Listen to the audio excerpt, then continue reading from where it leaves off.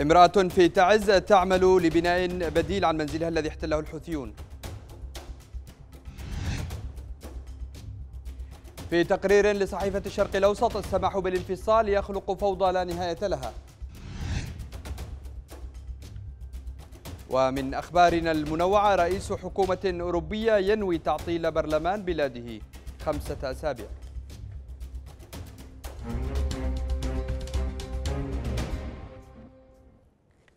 تصف الأمم المتحدة الأزمة الإنسانية في اليمن بأنها الأسوأ على الإطلاق في العالم حيث تعصف المجاعة بأكثر من ثلثي سكان البلاد جراء الحرب المستمرة منذ اجتياح الحوثيين العاصمة صنعاء.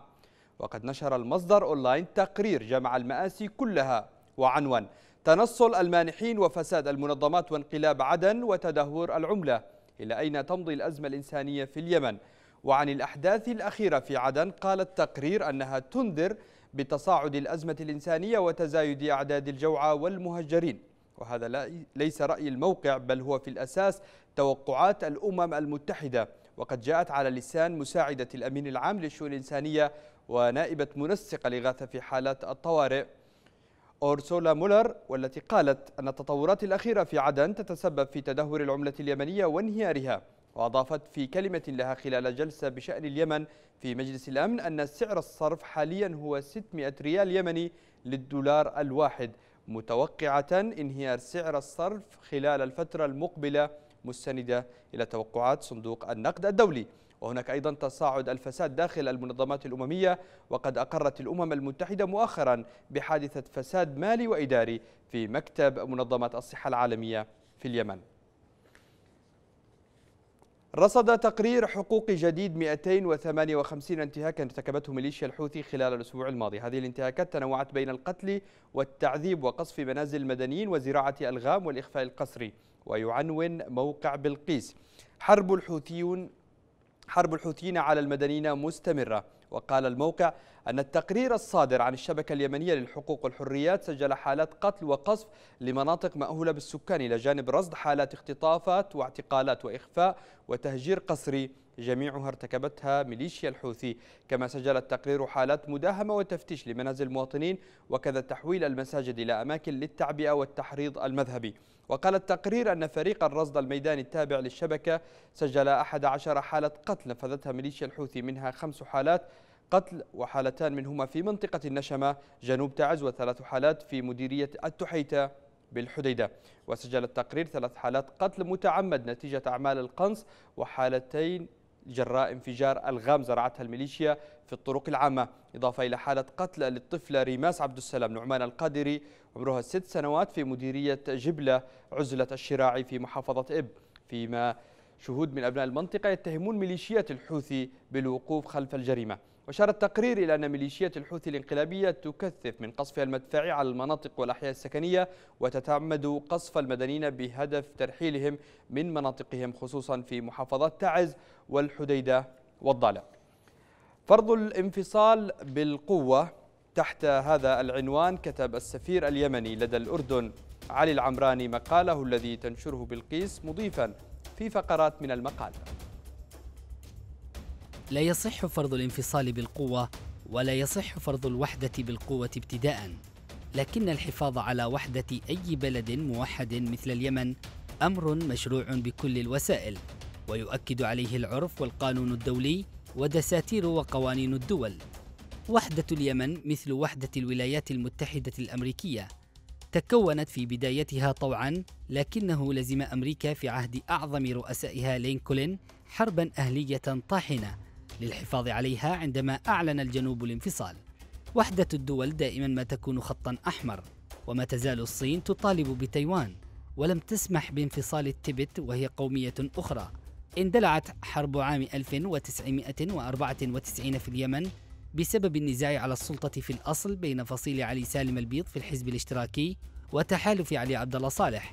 وقلت دائما إن البيض لو كان محل صالح رئيسا لما لجأ إلى الانفصال أبدا وكان يمكن أن يفعلها صالح المتشبث بالسلطة لو كان محل البيض يعاني قدرا من التهميش. في الجنوب كانت السلطنات والمشيخات تفوق العشرين وبطبيعة النزعة القبلية لا يرضى أحدهم أن يخضع للآخر.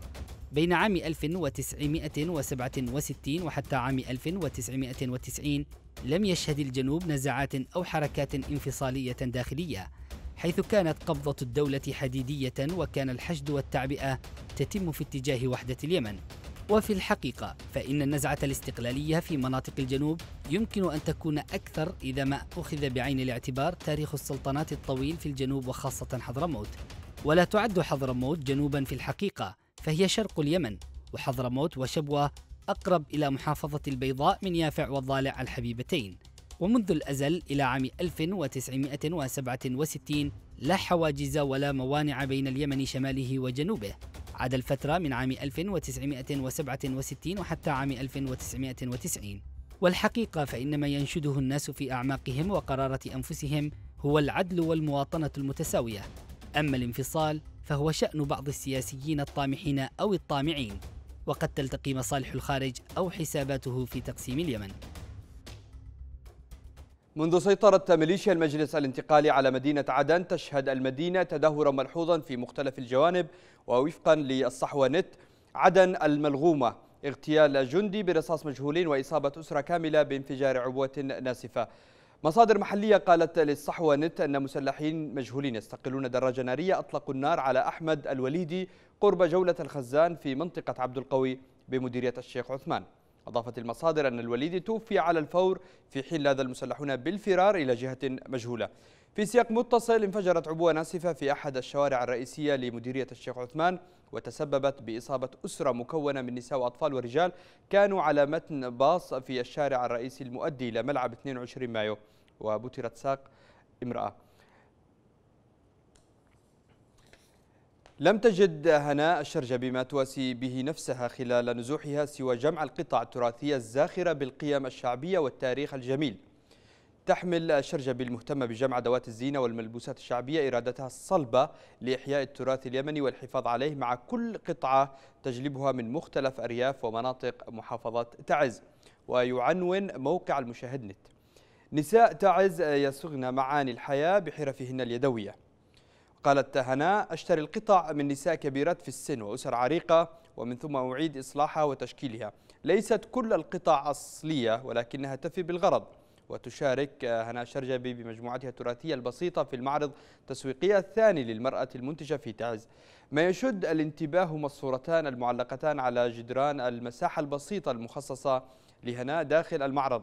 صورة رمادية لبيتها المسلوب من قبل جماعة الحوثي وأخرى تصف الجانب المشرق لحياتها وهو مشروعها الخاص. ببيع ما تصنعه من أزياء تراثية أو مختلطة. اتخذت شرجبي من شغفها بالتراث مصدرا للرزق ووسيلة تقارع بها قساوة الحرب بما تبتكره من تصاميم فريدة تجمع بين التراث والجديد على أمل إعادة تقديم الماضي وإدراجه في قوالب تناسب مختلف الأذواق. يا أهل اليمن الفأر في السد تحت هذا العنوان كتب السعودي هاني الظاهري مقاله المنشور في صحيفة المرصد مضيفا في جزء من المقال. مؤسف ما يحدث في اليمن من فرقة وصراع بين الشركاء بشكل يصب في صالح عدوهم الأول الحوثي مؤسف لأن هذا الوقت الحرج من تاريخ اليمن لا يصلح لأن يكون وقتا للانشغال باقتسام الغنائم فالعدو متربص بالجميع وكل المكتسبات التي يراها المتصارعون اليوم مكتسبات وهمية لا قيمة لها ويمكن أن تنتزع من أيديهم في أي لحظة نشوة بوهم التحرير والاستقلال وما إلى ذلك مما يمكن تأجيله لحين القضاء على العدو. تقول الأسطورة العربية القديمة إن فأرا واحدا هدم سد مأرب وتسبب في خراب أراضي اليمن وهجرة العرب الكبرى إلى أصقاع الأرض. ولا أحد يعلم بماذا انشغل أهل ذلك الزمان عن صيانة السد وطرد الفئران ليحل بهم هذا المصير. لكن المرجح أنهم انشغلوا بالتصارع فيما بينهم والركض وراء المكتسبات السريعة. ونسوا أن مصيرهم مرتبط بسلامة أراضيهم أولاً. وأن الفأر الذي تركوه يحفر السد جلب الدمار لكل اليمنيين. لا تفرض وحدة الدول بالقوة ولا الانفصال أيضا وإذا كان من الطبيعي أن تحافظ الدولة على تماسكها السياسي وعلى وحدة أراضيها فإن ما هو ضروري أن تعرف هذه الدولة أو من يمسكون شؤونها كيف تدار وأن يتجنبوا دفع بعض الأجزاء إلى حلم الطلاق. هذا مفتتح تقرير نشرته الشرق الأوسط تحت عنوان صعوبات الانفصال القانوني أو الفعلي في جنوب اليمن. تقول الشرق الأوسط يعود اليوم وهو وهم الانفصال يدغدغ أحلام بعض أهل الجنوب. ضعف السلطة المركزية وإمعان الحوثيين في تفكيك وحدة الدولة واستقلال قرارها السيادي يساعدان على ذلك.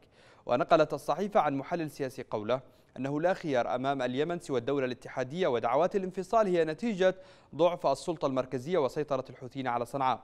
فيما يرى الدكتور خالد بمدهف رئيس الدائرة السياسية في المجلس الانتقالي أن إقصاء الجنوبيين عن الشراكة السياسية هو وراء الأزمة الحالية. ويرى أن المجلس الانتقالي امتداد طبيعي لما يسميها بالمقاومة الجنوبية. تفيد الشرق الأوسط يقوم النظام الدولي على مبدأ سيادة الدول ووحدة أراضيها. وفقا لهذا المبدأ يمنع القانون الدولي الانفصال من جانب واحد لأن السماح بانفصال كهذا سيفكك معظم دول العالم ويخلق فوضى لا نهاية لها. المدفع والمطبعة تحت هذا العنوان كتب ممدوح عزام مقاله المنشور في العرب الجديد. ثمة من يمنح الفضل للمطبعة التي أحضرها نابليون بونابرت إلى مصر برفقة حملته نهاية القرن الثامن عشر. لا كآلة قدمت الفرصة للعرب كي ينشروا مؤلفاتهم على نطاق واسع وحسب بل كمجاز للعلم والمعرفة والأفكار والتقنيات التي سوف تكون هي نفسها أداته الفريدة في الانتشار على نطاق جماهيري واسع. هذا هو رأي المناصرين للفكرة التي تقول إن الاستعمار لم يكن شرا خالصا وإن المستعمرين ليسوا مسؤولين بالكامل عن انتكاس النهضة. وخاصة حين يتمكن أنصار التنوير من وضع فولتير الذي ترمز له المطبعة في مواجهة نابليون بونابرت رمزا للمدفع أي فكر التنوير الذي تسرب إلى المنطقة العربية بواسطة الجيوش أو رغم أنفها. ولكن بعض هذه المواقف والمقولات تعزل الأفكار عن السياق الاجتماعي أو قد لا تقدر هذه العلاقة ولا ترى أثرها الفاعل أو غير الفاعل ضمن تلك العلاقة.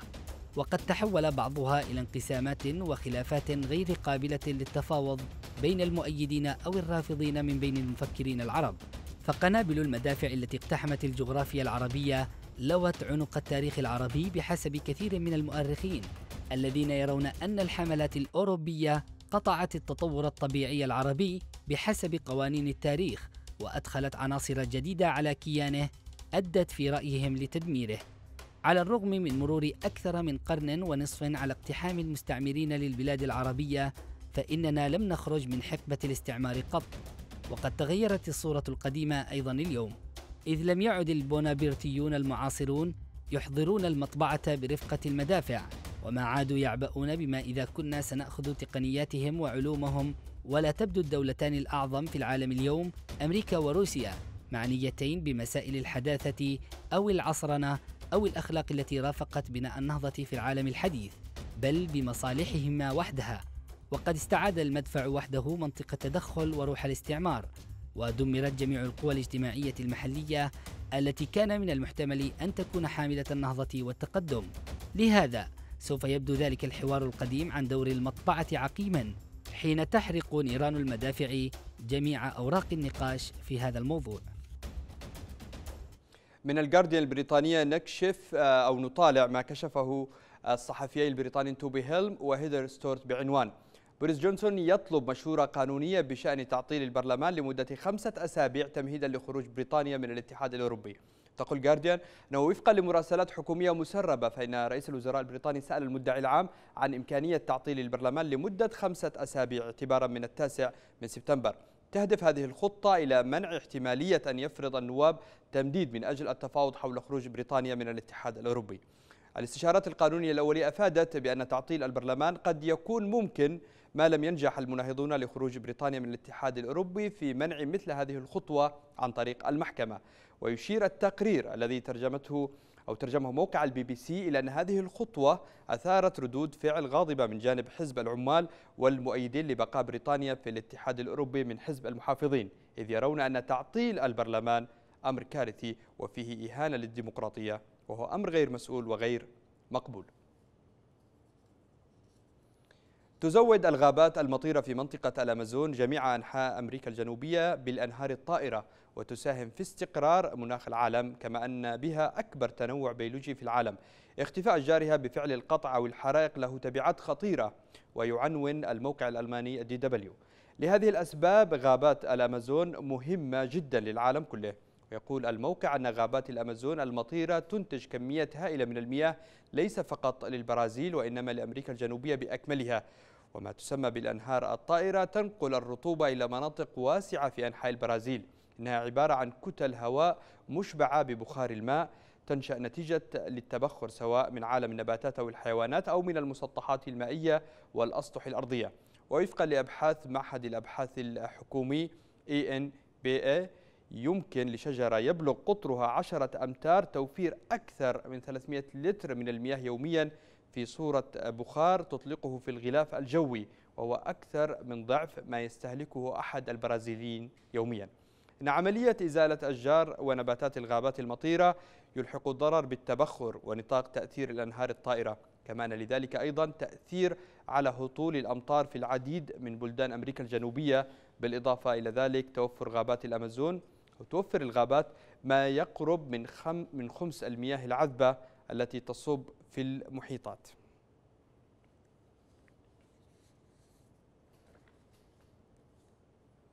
عندما يختلف السعوديون والإماراتيون تحت هذا العنوان كتب ديفيد هيرست مقاله في ميدل إست آي والذي ترجمه موقع عربي 21 تتناثر في طريق الإمارات نحو الأسواق اللامحدودة مصائد الفيلة التي نصبت لجيرانهم في المملكة العربية السعودية.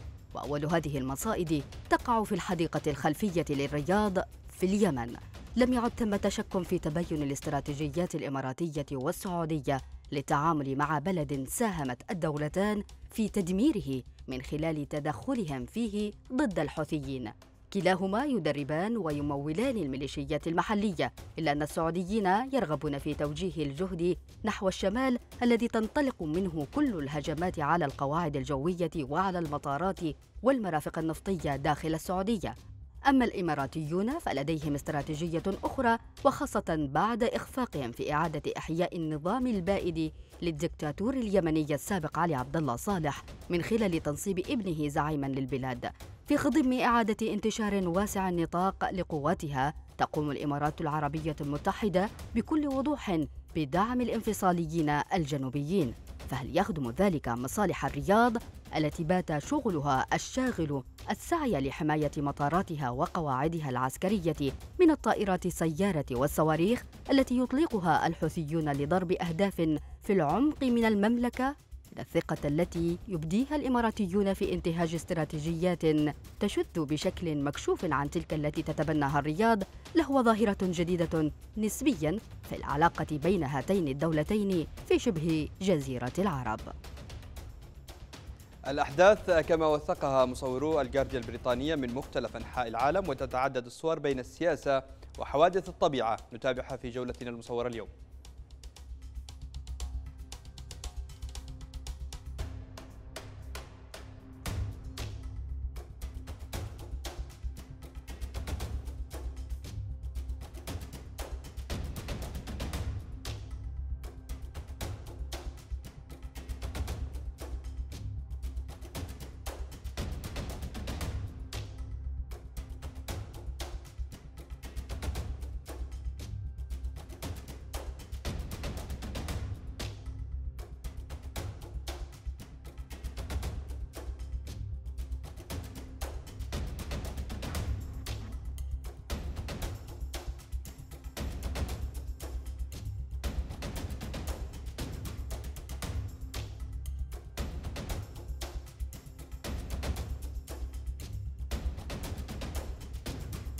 يبدع رسامو الكاريكاتير من خلال رسوم تضاهي أخبار وصور عدة في جولتنا اليوم. نعرض عليكم مجموعة من هذه الرسوم.